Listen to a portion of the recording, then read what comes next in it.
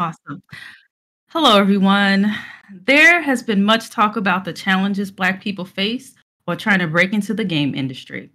But there are several ways you can forge your own path from developing your own game to starting your own company or brand.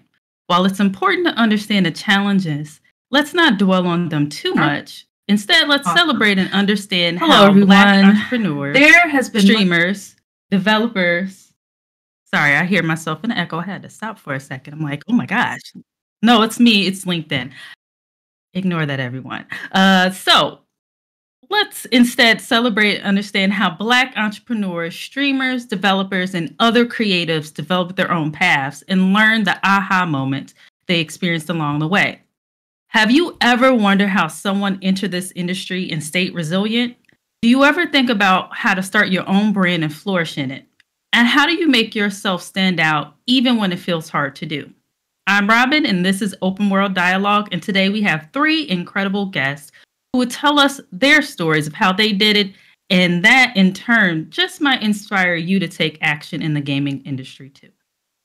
So, first up, we have Tanya DePass. Tanya is the founder and director of I Need Diverse Games, Rivals of Waterdeep producer, and cast member on twitch.tv slash rivals of Waterdeep, a partner Twitch variety variety broadcaster, excuse me, and RPG developer slash writer slash consultant. She's the creator and creative director for Into the Motherlands RPG, as well as a senior Annenberg Civics Media Fellow at USC. Additionally, she's part of the inaugural TGA Future Class of 2020. She was also named as one of the Gamers of the Year 2020 by Kotaku, along with three of her counterparts. She was also invited to the Xbox MVP program in February of 2021. Her work to make the industry more inclusive has been highlighted in Game Changer, directed by Tina Charles, WNBA star and Olympian, as well as filmmaker. The short documentary prepared, pre- excuse me, premiered, excuse me, at Tribeca 2021 as part of the Queen Collective, an initiative started by Queen Latifah, supported by Procter & Gamble, and an effort to get more Black women into filmmaking. Game Changer was also featured as part of BET Her's 2021 Juneteenth programming on June 19, 2021. Most recently, she was named the Gaming Awards icon for 2022. Next up, we have Keisha Howard. Keisha is best known as the creator of Sugar Gamers, the world's longest running gaming and tech community geared towards inclusivity. What began as a multicultural gamer group is now an award winning organization that supports its inclusive membership in finding their place in the rapidly growing industry, facilitating Sugar Gamers' evolution from video game enthusiasts to developers, writers, testers, voice and mocap ac- actors, artists, and designers. As a consummate futurist, Keisha recognizes the potential for video games to transcend their role as entertainment and become a mechanism for inspiration and social change. As a true geek of all trades and first wave gaming and esports influencer, Keisha's experience spans from introducing introducing game design slash media literacy to underprivileged youth, such as her partnership with Adidas and the NBA on tech advocacy activations to consulting Microsoft's Xbox division, as well as Logitech, Google, and Meta on inclusive game strategy. With a specialty in forecasting emerging, emerging trends in gaming and technology, Keisha's ability to advise businesses and individuals about potential opportunities for growth and sustainability has helped establish her as a respected voice in the global gaming and tech communities a two time TEDx speaker. She infectiously passionate and authentically plugged into the world of video games, AI, VR, and geek culture. Keisha identifies compelling ways for gamers in tech to intersect with any industry and inspires other around them. Uh, excuse me, inspires other around the infinite possibilities. And last but not least, we have Aphasia Speaks. Aphasia is a black genderqueer drag artist and full-time content creator. Aphasia runs the Speak Easy on Twitch, which is a hidden gem where you can come and leave all your troubles at the door and have a good time with some great company. Aphasia strives to make their community an inclusive and welcoming environment. I thank all three of you for being here. I'm super excited to talk about this because it's someone black, but also someone who's trying to create their own business and understand the gaming industry. I think for me, it's been extremely tough and it's been years of just wading through a lot of things that I don't understand. And I'm sure people out there, whether you are Black or not, will find a lot of the content that you provide today um, very important and relevant for whatever they may do in the future. So, uh, for me, I just want to start off with a very light-hearted foundational question and just know what was your first experience with gaming that inspired you to pursue a career in this industry? I like how we're all being question. polite. no, just jump in. I'm already uh, like uh, uncomfortable after all these bios. I'm just like, whoa, we've been doing a lot.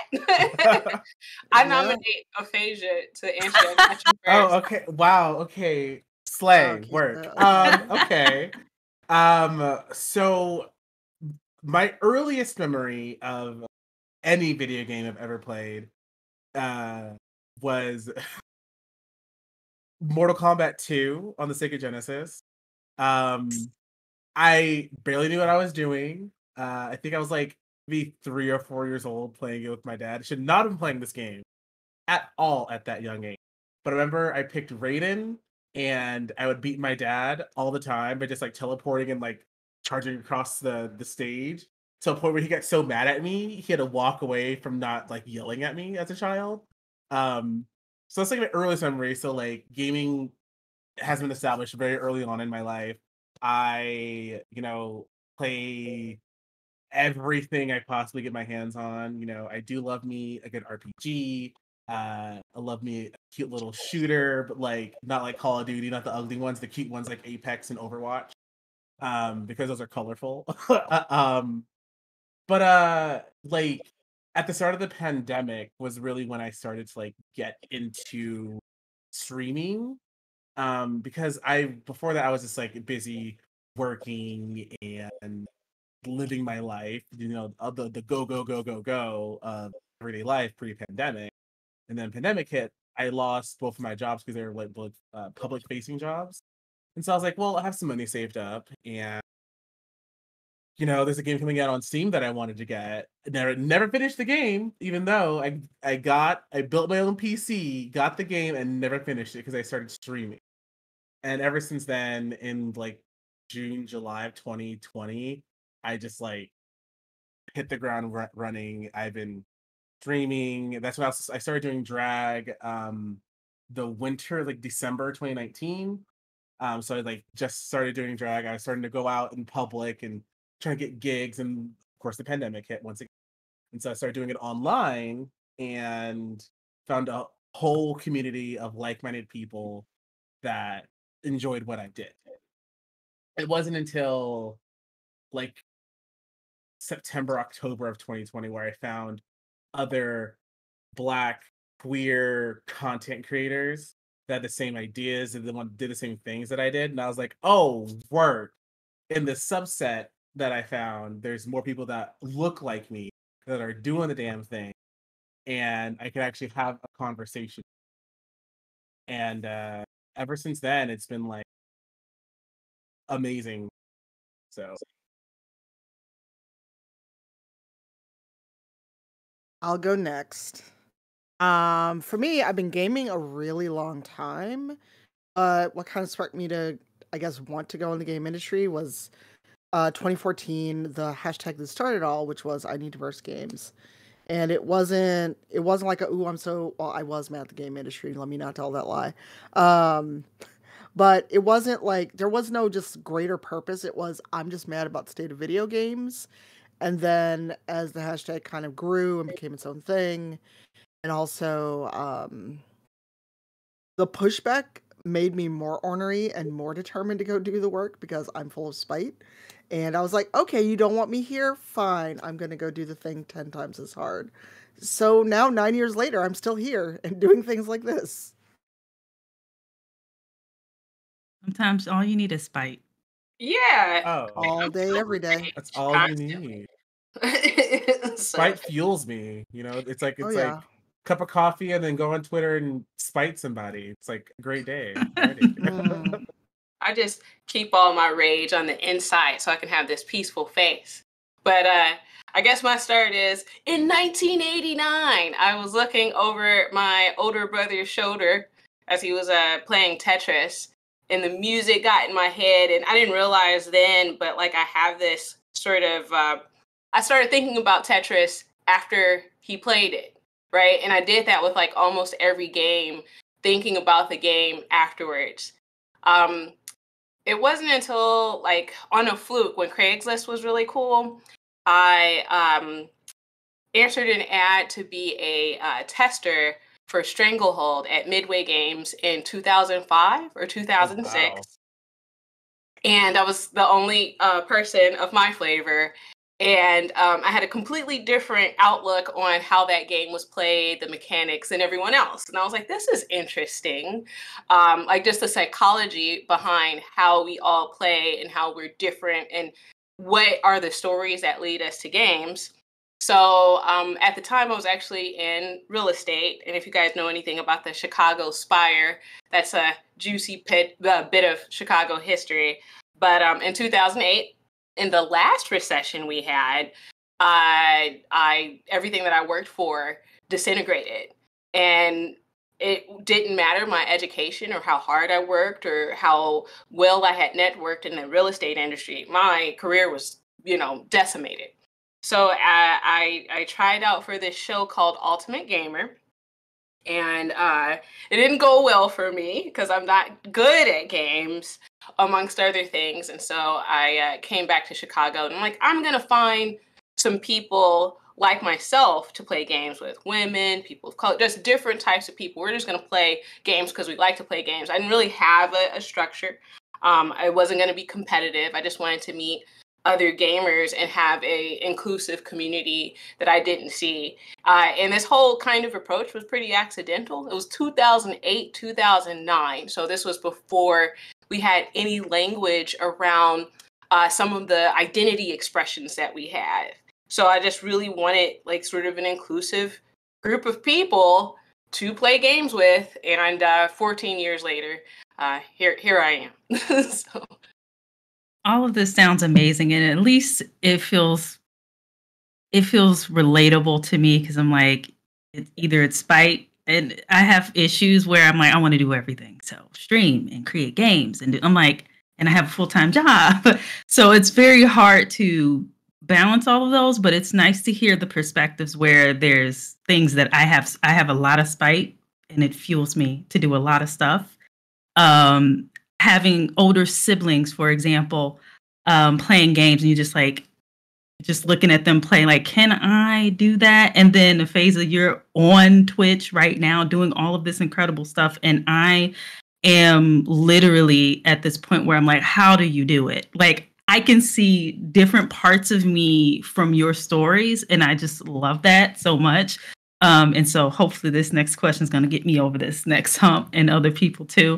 Um, which is you've already talked about what your interests uh, were, how you got there, but I'm so curious. Like everybody hit a everybody will hit a wall eventually. Like there's this thing where you're like, I have the idea, I know what I need to do, or maybe you didn't know what you needed to do, but hopefully you hear that dog behind me barking outside. Um, but uh, you have this idea that you want, you have the plan, but you hit a wall so I want to know, like, what was the biggest challenge you've gone through, whether it's the beginning or maybe in the middle, um, what you're going through now, and how did you navigate that?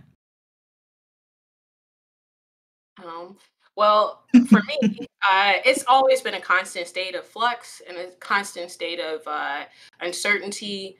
Um, the, the this industry constantly evolves and um, how where I see myself placed in it uh, is is usually changing, and that has led to a, a lot of anxiety. Um, you know, failing at things. I failed at so many things over the years. I mean, I have had some major ails. However, whenever I want to give up, it's like the universe sends me some effing kid. Some effing kid that's just like, oh, I didn't know that there were black people that worked in video games. And like this happened just as recent. I mean, it happened way before, but it happened just as recently as 2018, 2019. I had a young person come up to me and like, how did you do it? And I'm just like, man, how did I end up here? feeling the the pull of like all right i gotta do it for me because if, if i was that kid I, I would want somebody to be out there you know doing what i'm doing now. So it's like kind of a full circle.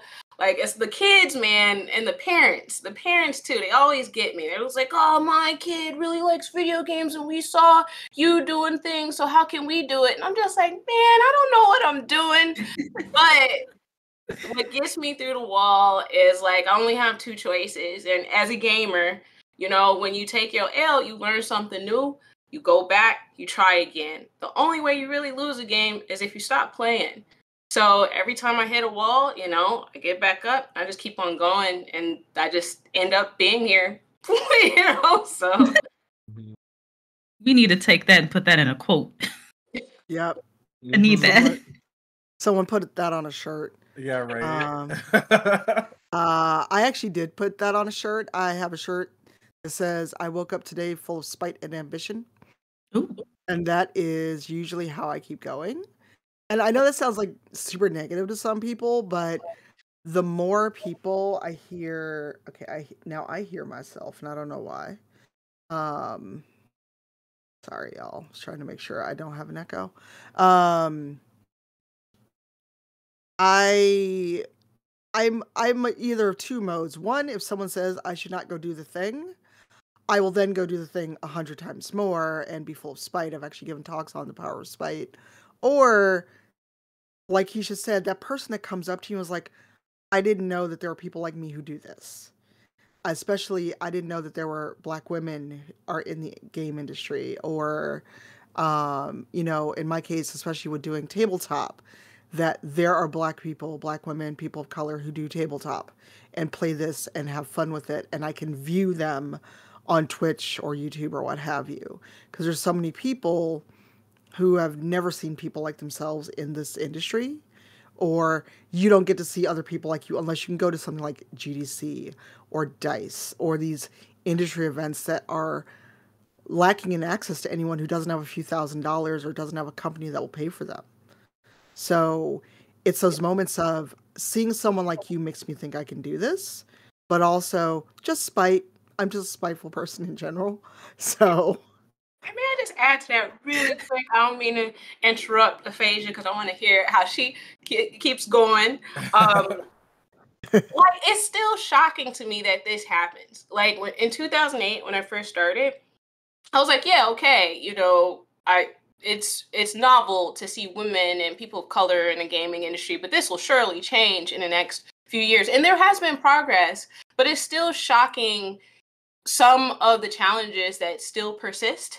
So like making it all the way like 10 years later to encounter that narrative over and over, it still like blows my mind. I'm still very surprised by it when it happens and it again it recalibrates me right back to like man we still here people still mm-hmm. need to see me in this space mm-hmm. see tanya mm-hmm. see a face see robin like it's it's crazy to me but anyways i'm sorry okay no, no, no, you are go. you are so right like that's what i was gonna say like for me like whenever like the the burnout of constantly streaming and then getting into drag while streaming and things like that. Because like people don't understand that it takes me at least two hours to get into this, right?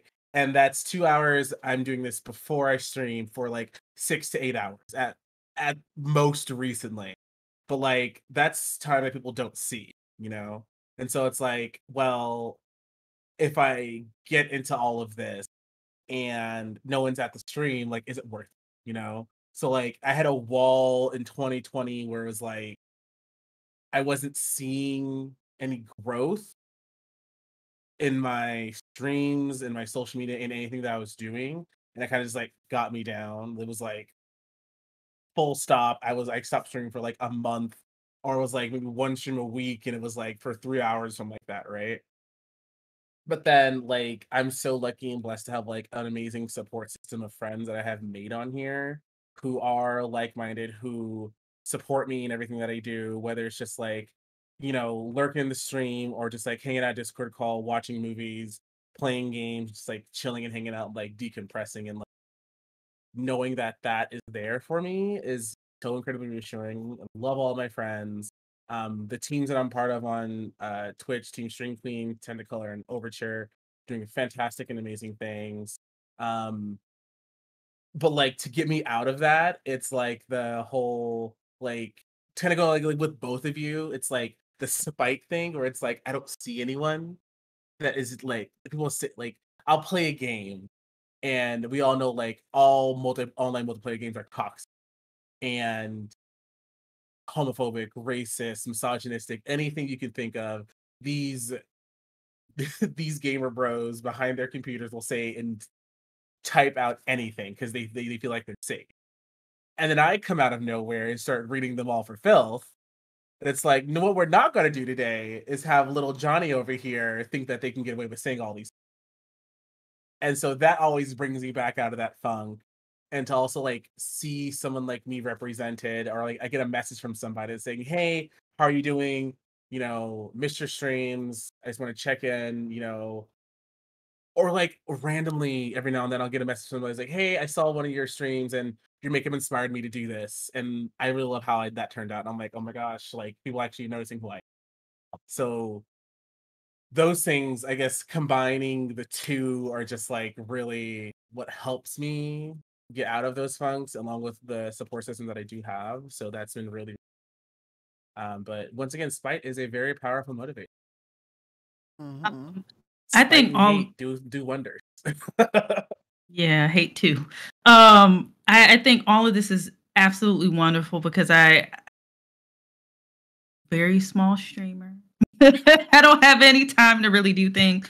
Um, I have big dreams for you know creating. I'll just put this out there: a, a, a legitimate video game publication that is focused on diversity um, and actually interviewing and, and highlighting developers and, and creators who are queer, who are black, who are Asian, who everybody. But I, I want something like that, and I haven't seen that yet, and I'm I'm getting bogged down. so having having the opportunity just to hear your stories and understand like okay you, you're you're gonna hit a wall but there's something that's gonna take you out of it it is super helpful for me. Right now, I'm running on Spite though. Um, maybe something else will replace that. Um, now, since you've all hit that wall, you've gotten over that hump, or there's an ebb of flow of it, I would love to know um, how do you actually get eyes on your business? That is something that I think is one of the most difficult things you can do. And of course, there's social media, but and obviously there's a secret sauce or something that you have that either you want to give out or you don't, and that's fine too. However you want to answer this, but um, I would just love to know like what efforts have been like like the most effective in increasing your brand awareness and uh, uh, visibility to other larger brands or people that you've networked with. Tanya, the one that's got um a gajillion Twitter followers and making games and stuff, you know, BET hanging out with you know, you know like, Look, hold on, hold on though. I may have those Twitter followers, but right now Twitter is broken for everybody, so it oh, doesn't make a difference. right now, yeah. Uh, I t- was told today before I wanted to retweet this and a couple other things. It's like you've hit your daily limit, and I was like, "What?" I know I could be chatty, but I haven't hit twenty four thousand tweets or twenty four hundred. So Twitter's broken. We couldn't even I could even promote this right before we went live. Yeah. Uh, but for me, you know, you hit the nail on the head about networking. And for some for, you know, Twitter and other stuff is is fine, but um there is nothing that replaces it to me is being able to go to things like PAX, GDC, um, East Coast Games Conference, those places where you can see people and have face to face conversations or mass to mass conversations as it should be now. And having a chance to to have an in person interaction because there's so much that you can convey sitting with someone or across table or that you can't even do even on a video call because you can only see this much of us that my body language other stuff or the excitement about a project or something can't really convey in a video call or in definitely not in text or on social media because when it does work we only get so many characters. Um but it's also making legitimate connections not just i'm going to come to you because you can do something for me. It may start as a business transaction may be transactional but if you don't interact with other people as real live human beings it's going to end real quick or people or you say this is a transaction we've done our one thing we're good but that's not how you grow and how you meet other people. And I'm sure, Phasia, you know this from streaming, is the transactional network nature of some people where they talk to you only when they want something exactly. or they come around only when you're on the come up you announce something real dope you're doing and suddenly all these people are your friends they're in your dms they're tweeting at you so treating other people like people and being genuine even if a business transaction never occurs someone's going to remember how you talked to them, how you treated them well after that business is concluded. So it's being a real live human being and getting having the opportunity and the privilege to travel because travel still costs a lot and it costs more now than it did pre-pandemic. So there's also that as well. Basically having money. And having money came basically after almost nine years of hard work. And it's still not like excess money. Um, oh, I, oh, I was. Go ahead. I'm sorry. I was just gonna say uh, I suck at networking. Go ahead. oh yeah, I, I got you. I got you. We'll talk. Um, I've learned like, like Tanya was saying, like the transactional nature of people online when you can't like meet them face to face. Because like I, most of my business, my business is my right. So like I'll do like collab streams with people or I'll try and find, you know, a partnership with a company or um go out and try to get like uh, a game code to promote this game so this dev company can like look at me and say, "Oh, let's work with them more and partner with them." Just like it's all about like trying to make those connections and partnerships.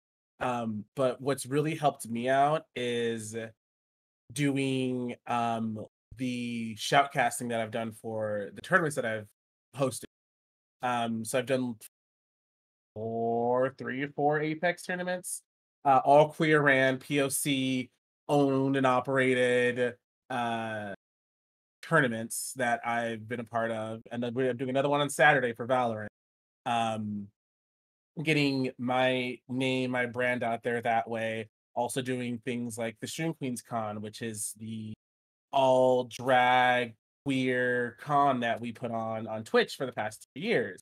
I've been a part of that. It's been a huge thing. Um, Twitch has been like, yeah, no, we're gonna keep doing this because this has been amazing for everybody. Um, and so getting my name out there like that, and actually finally getting a chance to go to TwitchCon last and meeting people face to face was absolutely amazing. I had a fantastic time. Barely remember the weekend, but just enough to remember the people. um, and it is so important because like all the people I've known online for like two and a half years. And finally I'm like, oh my gosh, you have legs. Like this is wild to see you walk around.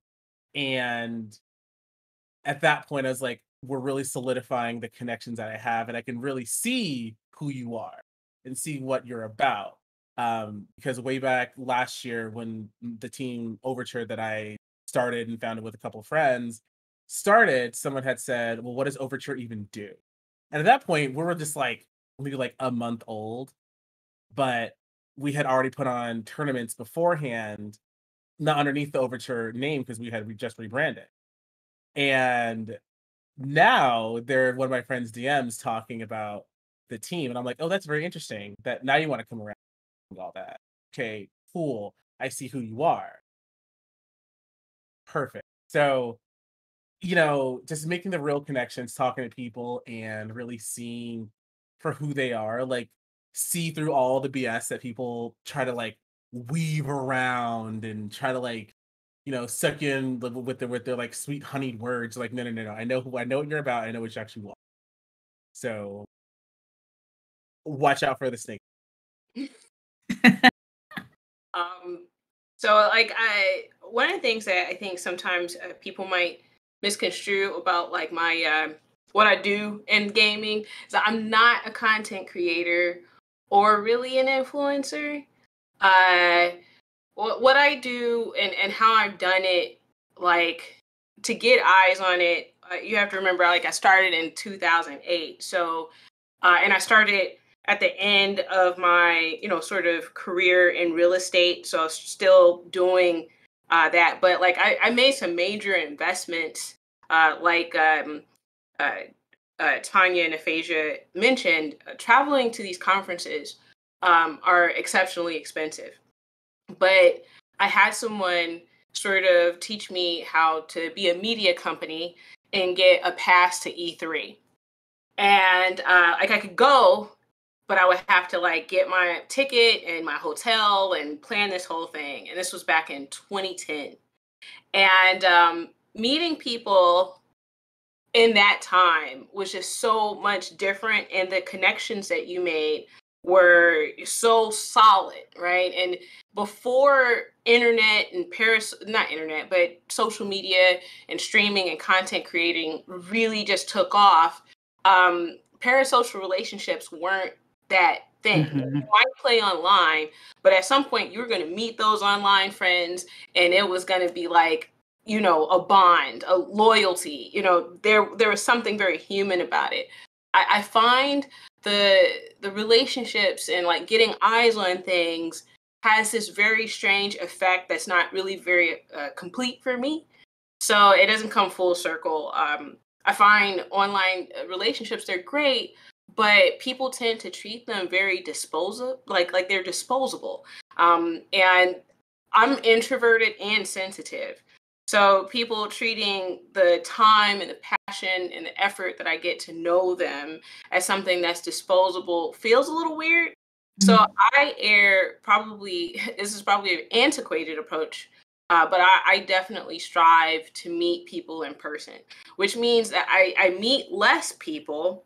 I have less eyes, but the eyes that I do have are much more engaged mm-hmm. because they know me they they can see i'm a real person and i feel like i can express my authenticity for what i do here in a way that might not always come through in uh, strictly online virtual spaces so I err very much on like, let me go meet this person, let me go be there, let me save up the money to make the investment, to be where it's happening and, and meet these people that I think are important, that I want to be either a part of their community or a supporter of what they're doing, or ask them to support what I'm doing.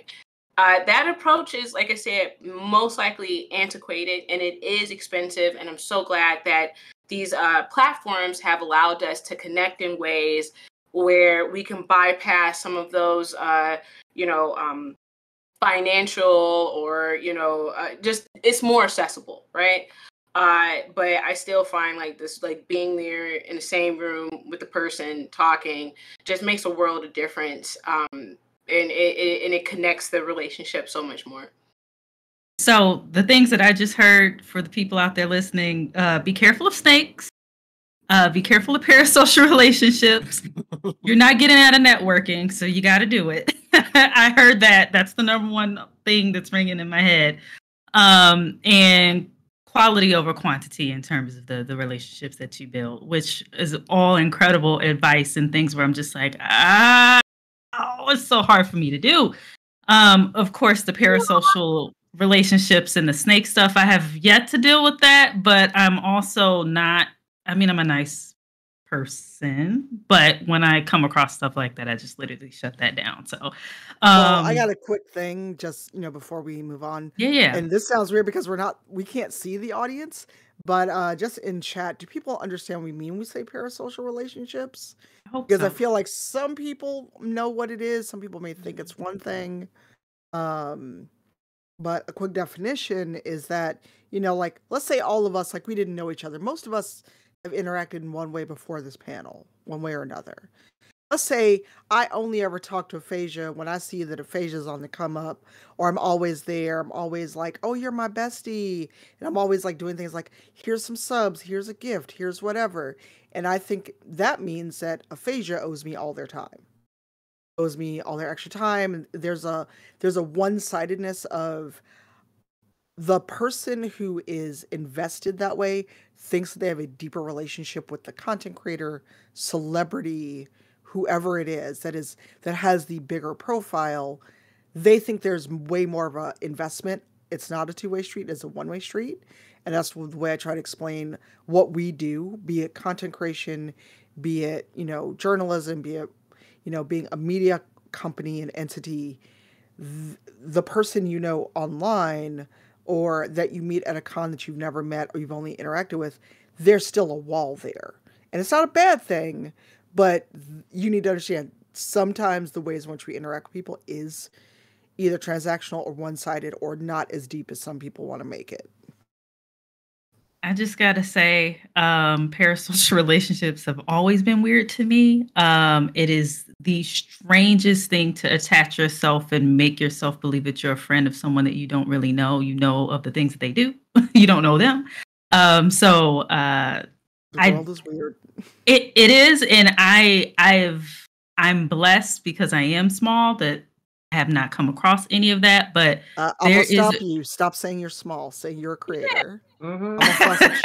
you're moderating. Thank you. Yeah, Thank you. Do your thing. Um, Thank you. I want to add one more thing. You know, uh, we're entering. Okay, we're gamers, right? Mm-hmm. And we're we a lot of us were attracted to games uh, before it became our career for some probably a mental health benefit of sorts, whether it yes. was uh, escapism, whether it was competition, whether it was like just connecting. We all had a reason to want to escape, you know, mainstream life and immerse ourselves in a character or world or whatever.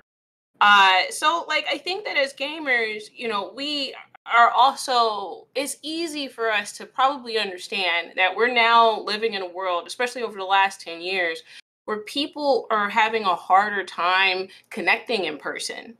So, you know, with loneliness rising, with people feeling othered and people feeling not seeing themselves represented and having more and more anxiety about what it means to interact with a fellow human being and, you know, the fear of some sort of rejection or the fear of some sort of negative um, uh, you know, response happening, yeah, you know, I, I do get parasocial relationships. They're safer. Mm. They're much more safe.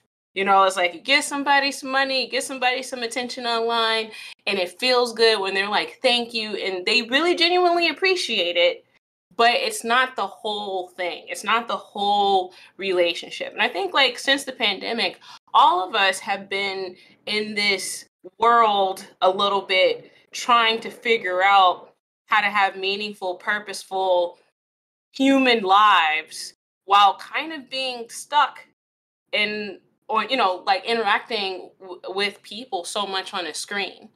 So it's it's an interesting thing like i i'm sensitive to people who build parasocial relationships because i know that there's a reason why they're doing it and gaming uh, specifically attracts i feel even more of that than usual um, because there's so many more ways to connect.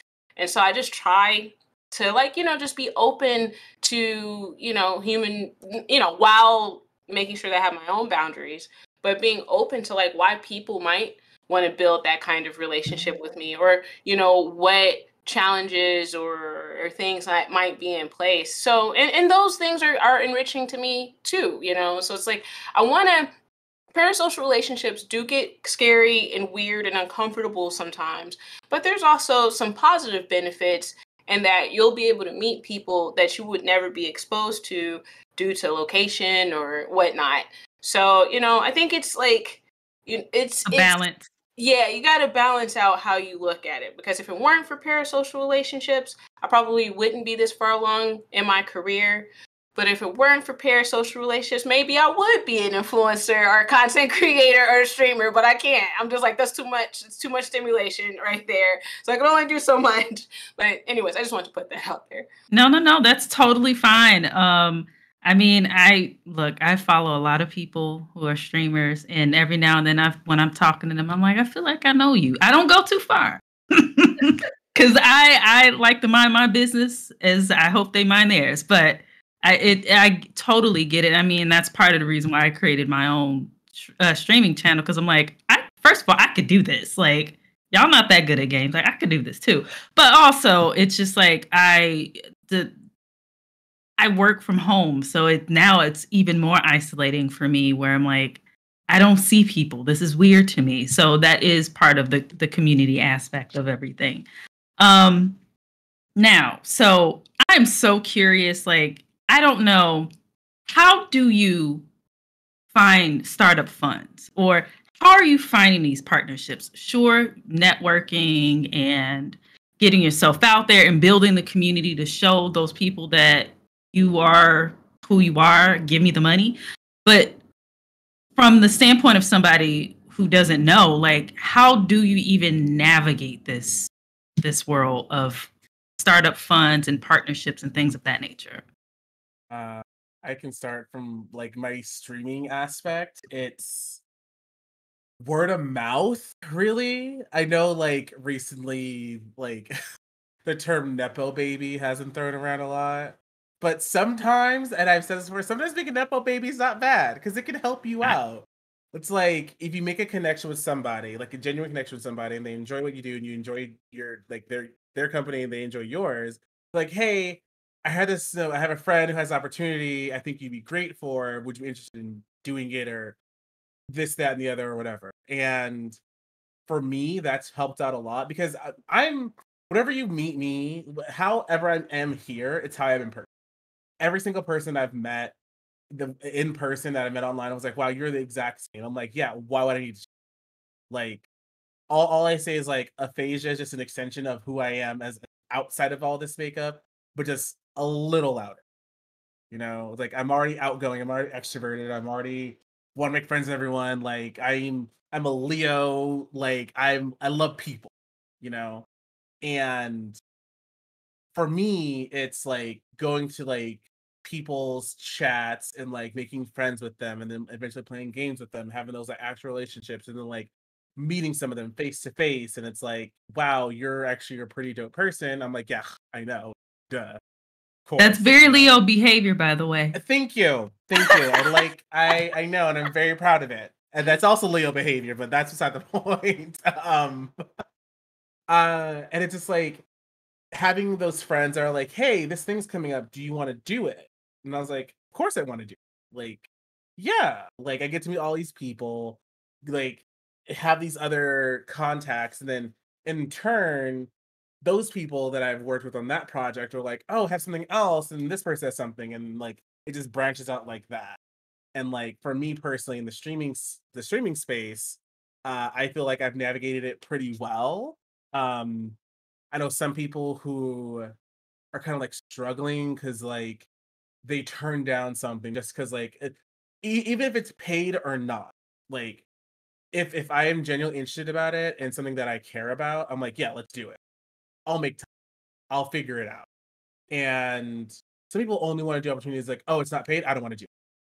Oh, I'm not gonna get this. I'm not gonna do it. I was like, no, you like I take every opportunity that you can actually identify with and do it.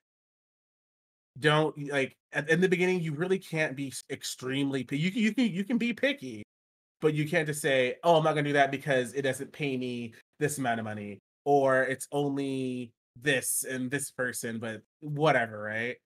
Like I'm at the point where it's like I'm okay doing whatever I need to do. And like my community helps me out if I like if something breaks on my stream or like a piece of equipment breaks, I'm like, all right, stream, I'm gonna do something stupid. Let's do something stupid for subs or for tips because if I can't get this fixed, I won't be here. And Stream was like, well, we want you around, so do something dumb. Like drink hot sauce shots, which was a terrible idea. Don't do it. and I hate hot sauce. So I was like, not doing that again. But I probably will because streams seem to enjoy it. So like, you know, I mean, I'm here to make a fool of myself and also be center of attention because, you know, whatever. You don't have to worry about me because I will not be drinking hot sauce. That's just not happening. Though I love some hot sauce, I'm just not going to be drinking it straight up. Um, I do not recommend. I do not recommend. I drink hot shot. I have drank hot sauce shots, not even for entertainment, but that's how much I like hot sauce. So Oh, I guess I'll be the weird one here. oh no. Go with God and anime, as one of my friends says. I don't know how you do that alone. Um, and- some fried fish, some chicken, like you got something, but not by itself. Pickle juice, just, just. Okay, that's different. See, I Is also that- hate pickles. I hate What? pickles. Yes. I hate pickles. I'm Okay, actually, no. I'm actually doing a subathon at of the month uh, to help me get to New York for the gaming awards. And uh, the, the last one for 200 subs is eat a pickle. Because my community knows how much I hate pickles. Like they gag me. So- And I'm just like, "Ugh." and so I was like, eat a whole pickle on stream. I can't spit it out. I have to eat the whole thing. And I'm Oh, pickles are delicious. And I don't know if that's a Chicago thing, but like just get the little pack. First of all, it was like the very I needed a dill or a kosher a kosher dill pickle with a nice snap to it. I just eat them by themselves. It's just great. So, What? Phaedra, I'll how eat it for you. So, Phasia, how much to just like get you to the Game Awards and not have you torture yourself? Because Well, I, I, don't hate, know. It's because gotta I be hate, fun. I'm just gonna be that person. And also, I don't know how you find money. We still have a Patreon. That's where I need diverse games is.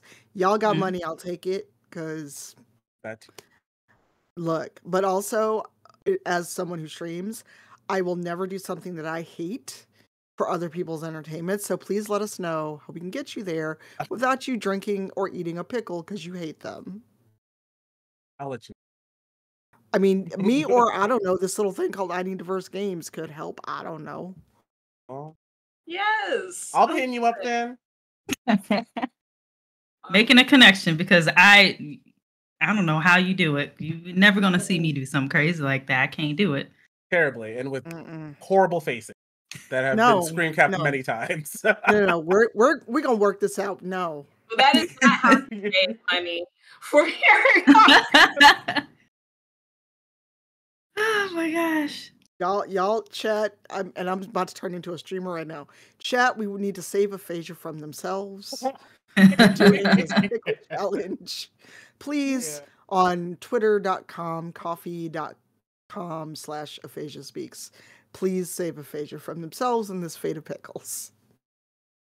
if I don't have to eat a pickle, even please. And I will see you in New. York. You can go ahead and send those pickles my way. I will eat them. Oh yeah, Um, them all over there. We'll save you. I know we're talking. We're supposed to be talking about funding, but like, I trust me, I will, I will, I will eat it for you. I love, love, and I'll throw some hot sauce on it too. But that's a You know, you, nother that, you, that's all you, boo boo. I will watch it. I'll be good. Good for you. But Keisha, Keisha's the one who knows this answer. yeah, I, I, I still can't wait. not unlocked this. Uh, so I, the answer I'm gonna give you, no one's gonna like it. So all you guys out in chat, all you human, lovely humans, you're not gonna like this. Um, so I had a whole career before I started Sugar Gamers, and um, I bootstrap. I still bootstrap Hmm. and I am fortunate enough to do so uh, in some ways. In some ways, it was a lot of sacrifice. Like I don't have children, I don't have a lot of assets besides Sugar Gamers. I constantly invest money back into the things that I want to do. Now that's difficult. I I'm not gonna, you know, sugarcoat that in any way, but that's how passionate I am about the space. That's how much I love video games. At the beginning of my career in this space, I was spending all my own money um, that I got from another job, which was real estate. Uh, so that's number one. like, uh, to you know, I still haven't really figured out a way to get investment without making investments in yourself first.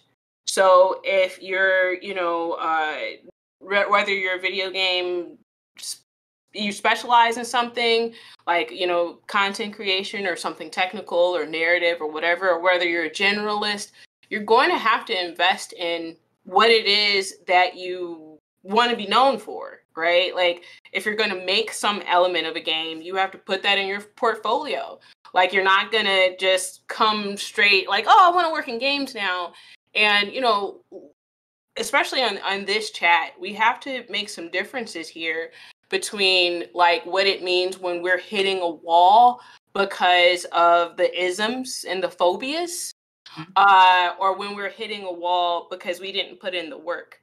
And both exist and both are challenging you know what i'm saying? Uh, to put in the work and also have other work to finance the work. And then you have to deal with homophobia and racism and sexism and all the other things. But this is one of the most competitive industries that there is. I'm so lucky to be here. Uh, so on the one hand, like, yeah, we got to still fight. We got to still fight to represent what it means to be a person with our lived experiences to be in the video game industry. It's very important that we do that. But also, we have to acknowledge it's very competitive, very competitive. So you can't just half do this and you can't go in too optimistic like there, you know, I, I worked a lot of years in a space for free or paying my own way from something else. Um, and it wasn't until maybe five years ago I was able to consistently be able to work in the industry, uh, I guess, properly. Um, I've tried investment. That is a completely different game. That's a departure from what it is that we're talking about right now. Uh, how you raise money and have those decks and get a, a investor, venture capitalist. It's completely different thing that you have to study, understand, and then on top of that, it is majorly combined with networking. Is who you know and how they know you and what they're expecting to extract from your work. It's not. It's something that we have to be very sober about because we look at uh, the public discourse and the media, and we see all these things. It's like, oh, this company got a million dollars. This company got fifteen million dollars. A lot of individuals don't know that that's not a lot of money in the video game industry. That's not a lot of money when you have a huge team and you're you're making something that is is you know artistically or technically um, sophisticated. So like, yeah, it sounds like a lot. It's not, uh, and it goes quick and a lot of people fail. Um, I think that looking for investment in some ways is probably should be kind of one of the last options after you have bootstrapped and invested in yourself to the best of your ability, that you're networked and you really know where it is that you want to go. Having some focus and like having clarity in what it is that you're offering, what your services are, what you specialize in or generalize in, is uh, super important. You know, a lot of us like games from our heart, but from a in a business standpoint, a lot of us can't articulate clearly what it is that we do. Uh, it took me years and years, and I, I'm just now figuring it out now. Um, and it's 14 years later. So there's no shortcuts. There's got to be a, a lot of dedication. And I would say that in this space, especially with people getting into content creation and uh, you know being um, streamers like sometimes we see just too much of what appears to be an overnight success from a mm-hmm. person mm-hmm. just being you know this person and you don't know what they have you don't know like as as to what aphasia had mentioned earlier you don't know what kind of support system that they have. You don't know what kind of money that they were they had to be able to invest in themselves. You don't know how long they might have been working at this and building it and planning for it. Um, and a lot of times we compare where we're at to these very one-dimensional narratives as to why and how somebody became successful like, are your morals and values in alignment with how that person became successful? And a lot of us do all this comparative analysis thinking that we're not doing great because we're comparing ourselves to someone whose pathway would be completely closed off to us if we tried to do it the same way. So that's the, the other thing. Be very clear about why you're here uh, because there are going to come times where your passion is going to have to pay you. You know what I'm mm-hmm. saying? Like your love for the games, your love for this space, your love for this community has to be what gets you uh, ahead. That that's been my narrative. I mean, and I've had some again a lot of L's, but I've also had some wins for sure. Uh, but it's it's not as as cut and dry, and you got to see like what part of the industry you want to be in. If you want to try to get into like some blockchain and some crypto and some uh, uh, you know um, some esports and and that sort of thing, you know, there's a lot of blueprints out there for some of that. But you know, that's a, a, a different way of looking at games entirely. Uh, so you know, I don't know. It's just a lot to think about, but it's a departure from the fun space that sometimes we see when we see like successful streamers. When the video game sort of ecosystem, you know, streaming is just one slice of that pie, in which what makes up what video games is as an industry, and what part people want to play or see the opportunities for themselves, and how they want to extract you know that as a career or get financing and so on and so forth. You have to have a clear narrative, a clear goal, and have had invested in yourself so investors know why they're investing in you as well. So hopefully that helps. But like, no, that's hard, hard, hard, and, uh, and uh, I actually can I add something because I'm not sure how we how good we are on time, but I want to add something in. Go for it. To, to follow up what Keisha said because what I've realized, a lot of people see quote unquote influencers and they see uh, like they also call anybody who does like streaming, what have you, they call that whole category influencers. And what I've run into is that people have a view of influencers, they just give free stuff. Or they just are getting like free games, they're getting paid all this money.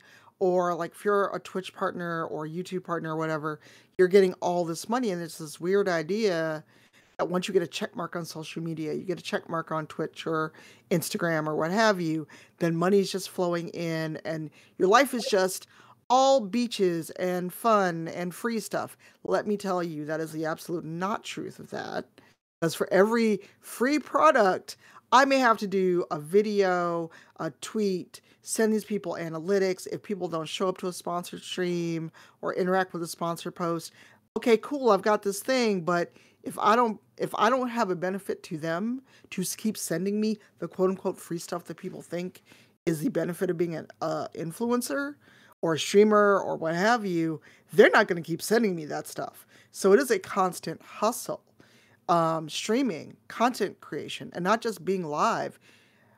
Anyone who's ever tried to edit a video knows for every 10 minutes of video that someone gets, there's probably hours of editing behind it. Also, if you are mindful and try to add closed captions, that is hours and hours of work. Even if you let a service do the work and you got to go back in and fix it, you're looking at for maybe a three hour like TTRPG stream, for instance, or even just say an hour and a half.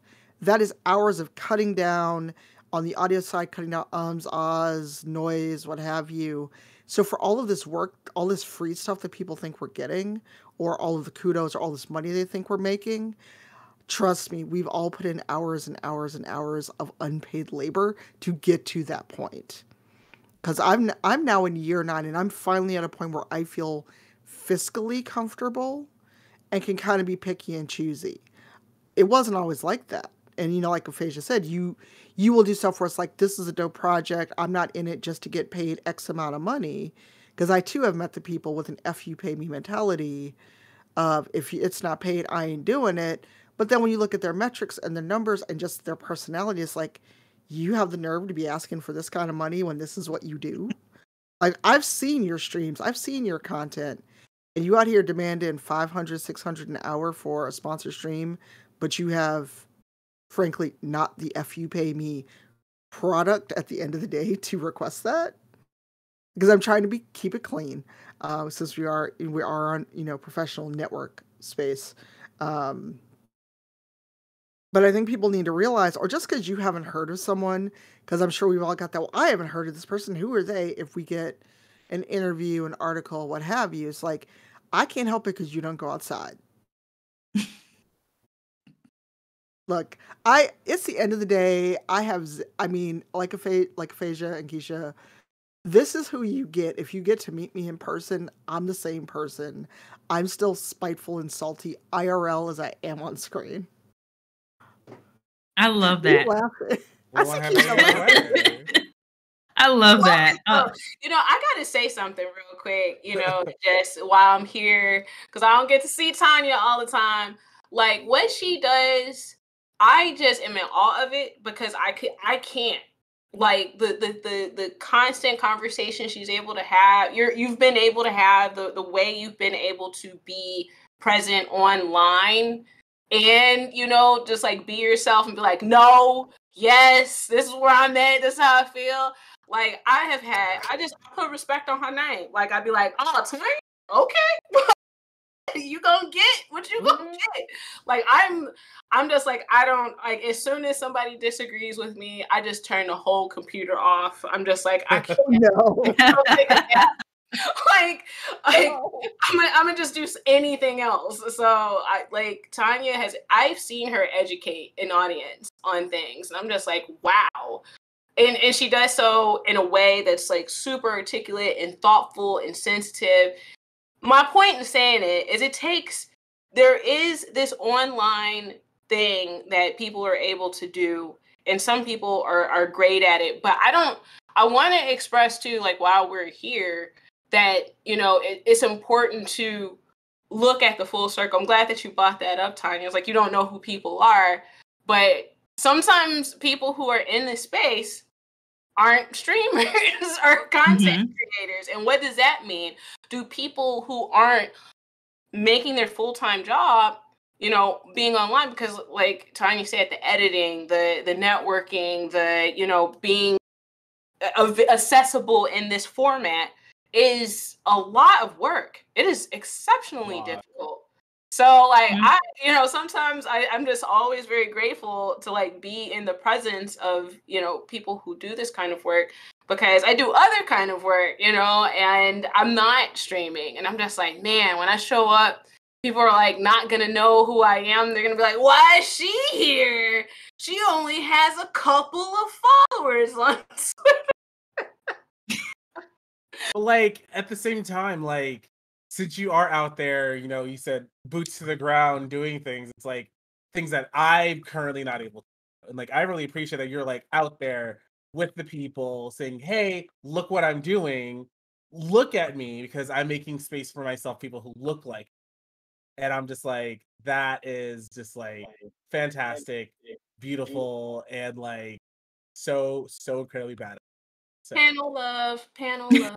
Yes. you know, Um, so I only have one question left. I hope you all are okay with me asking it. Uh, before I do, I want to just emphasize people, please bootstrap. Um, now you said it was a, a sobering thing. I just want to say, uh, that's what I needed to hear. I needed to hear that. I'm like, oh, there must be a secret way. No, you need No. to do the work. You need to do the work. So now I know. Um, and then also.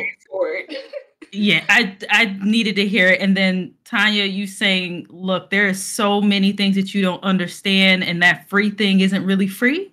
Don't be fooled. it's so Yeah. important. Fortunately for me, the job that I had before moving into a, a new full time job, I was getting free stuff anyway.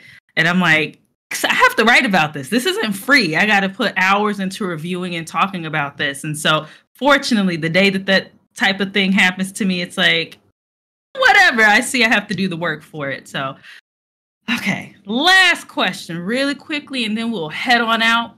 What actionable advice would you give to other Black creators, entrepreneurs, and streamers who want to build visibility in the gaming industry?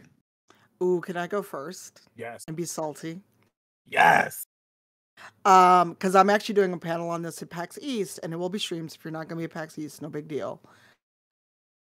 And I see this especially in our community. Stop with the crab in a barrel mentality. Your success Mhm. or someone else's success does not take away from yours.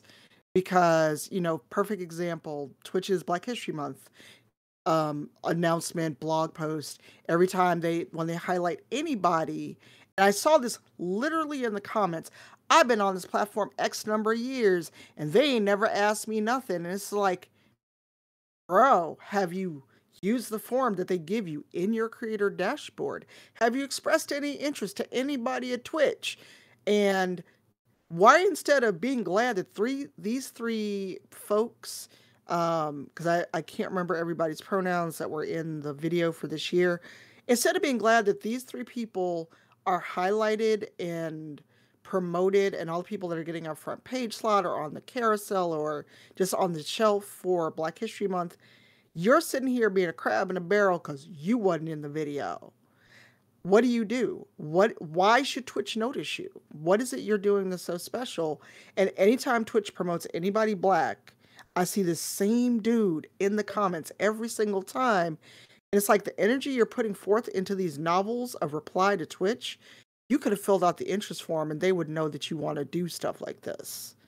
Um and also don't use people. Don't be snakes in the grass because it will come out and as much as you like to say oh black streamer twitter or whatever the world of streaming is smaller than you think and people talk. They will find out if you are trash. Lift up other people and know when an opportunity ain't for you and when you can't do something or if you get offered something that's not for you think of somebody else bring them along because at the end of the day you're you may get that 15 seconds of fame and you know it may help you come up but you need to bring other people with you Mm-hmm.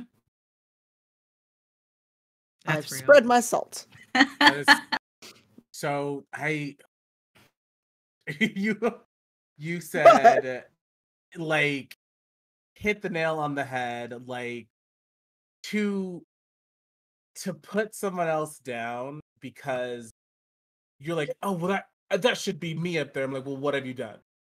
Like what have you done for anybody what have you done? Like when whenever whenever you're sitting here saying oh i can do what they do like well but you're not. Like you're not out there being a part of the community. You have your own small bubble that you want to stake and you you expect people to go find you? No let's be completely real and honest the the tags on twitch the, the no the the discoverability on twitch is horrendous okay?